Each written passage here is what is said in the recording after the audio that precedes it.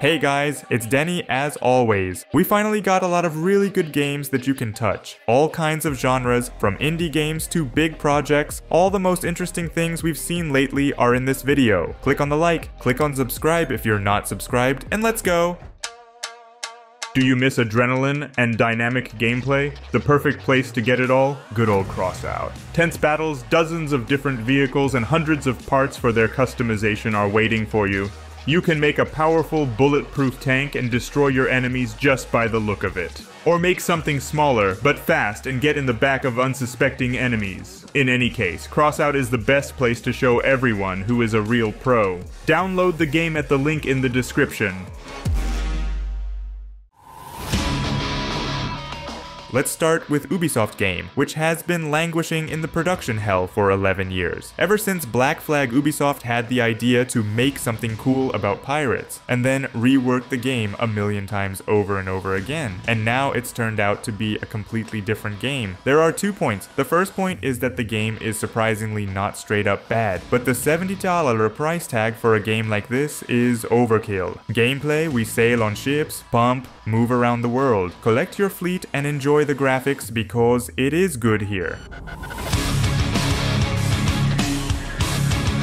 The developers of Deep Rock Galactic unfortunately have been dead for a whole year, but they managed to make a whole new game during this year, Survivor. This is a great background game. You can turn on a movie, watch it, and play the game in the background. All information is available without sound, you won't be sneaked up on from behind, and you won't hear anything interesting. Even new items in the style of the original and even previously unknown mechanics, subclasses, have been brought in. There will be a lot of grind. It is, after all, an auto shooter on which the Deep Rock graphics were stretched. Overall, a great game.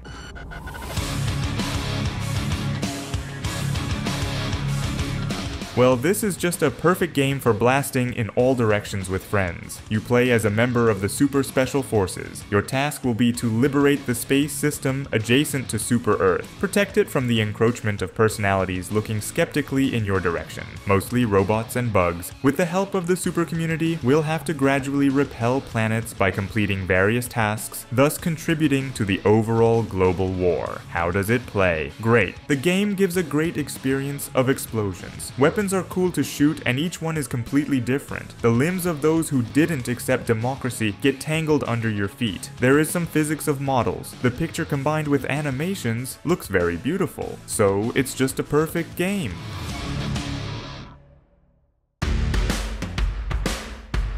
And this is a legendary game, in which you return to your childhood if you are more than 30 years old. It's a remaster of Corsairs, remastered with improved UI, in some places improved graphics and additional quests, as well as the prospect of further development of the story. Graphically true, here how do not try, and the engine is ancient as a mammoth shit. Quests sometimes cannot pass without guides. There are bugs, but it's all small things, because it's generally generally a great RPG in the pirate setting. If you were spitting when you saw Skull and Bones, and here you feel some sense of nostalgia, then this is definitely the game for you. Here you will learn how to sail, constantly watch the wind direction, shoot with the ammunition you need, fight with different types of cold weapons, shoot with pistols and muskets, and not press the X to win button.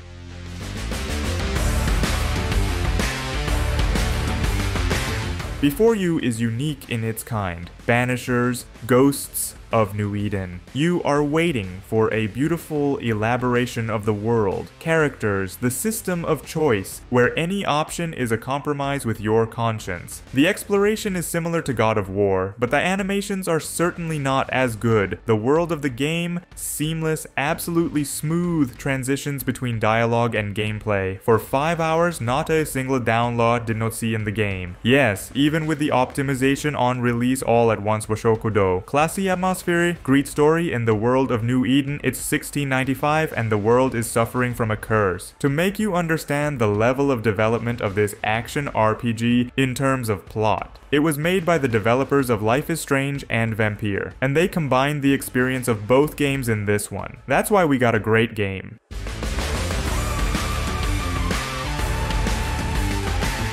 Islands of Insight. We're used to the fact that usually in puzzle games we walk around some small location, and conventionally the puzzles and their solution drive our adventure and story. Until we solve them, we don't get anywhere. That's not the case here. Welcome to the open world, with over 10,000 different puzzles. Yes, you heard right, the developers spent days and nights racking their brains coming up with all this. They added various minigames, exploration, great graphics, flying, different characters, and much more. In general, if you like the look of it, definitely worth a try.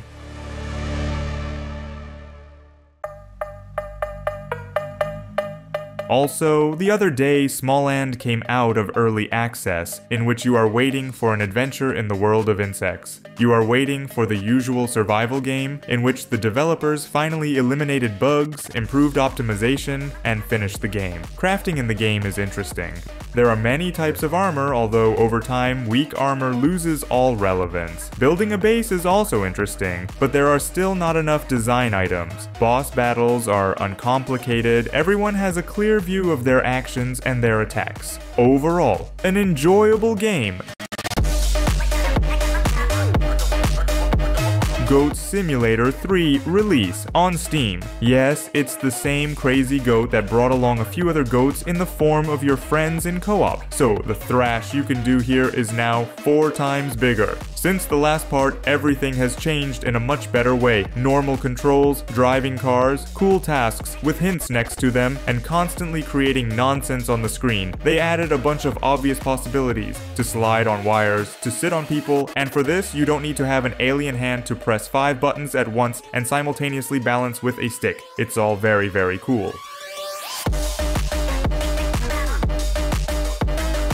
Tomb Raider. No, not a new Tomb Raider, but I wish it was. Here, quite unexpectedly, we were shown from 1 to 3 parts of Tomb Raider with improved graphics. Now, the whole thing is called a remaster. Lara's triangular breasts have changed to normal breasts. The whole thing looks a little nicer now. While I was playing it, I suddenly found out that the game, it turns out, has a story. About 20 years ago, it all seemed to be just a set of different levels, without screensavers in complete silence. Now, there's even a story coming out.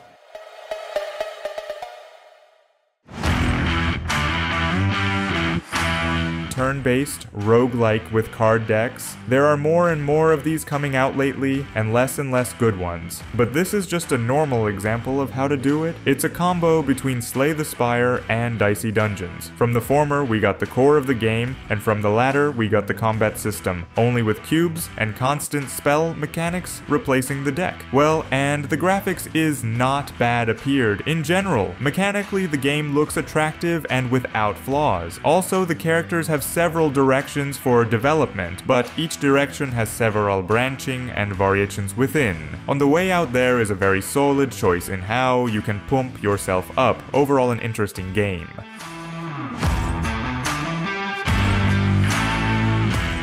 In front of you is another turn-based game, this time a strategy game, but here they added RPG elements too, and gameplay-wise, it's very much like Disciples. Music and Atinum Sofera also cool. The only thing is that developers though released the game in early access, and it turned out to be cool, the content is still scarce. There are only two scenarios where the first consists of one map, and the second consists of several locations. In general, they plan to make as many as 11 of them, but so far we have what we have.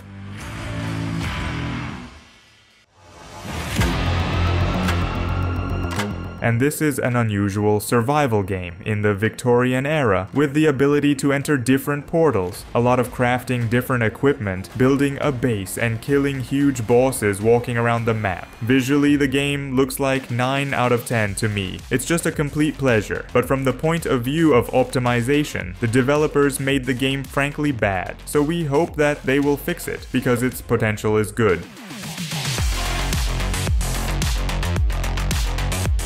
And this is one of the most unique games of its kind. It's a car-based survival game, where you, in the exclusion zone, will look for resources, put them in your station wagon, and press on the gas. The car is, of course, along, and recycle. Crafting in the game is a lot, as a lot and monsters of various, which do not mind to break your car. You can get out of it and walk around too, but I would highly recommend against it, because without it, the probability of survival tends to zero. In general, it looks like a sortie. You drive your car out of the garage, go on a dangerous adventure for resources.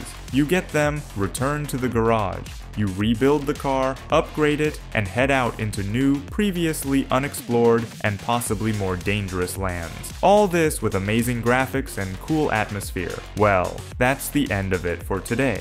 I hope you found something interesting for yourself and therefore clicked on the like and subscribe too. I'm with you as always, Deni, and have a good day.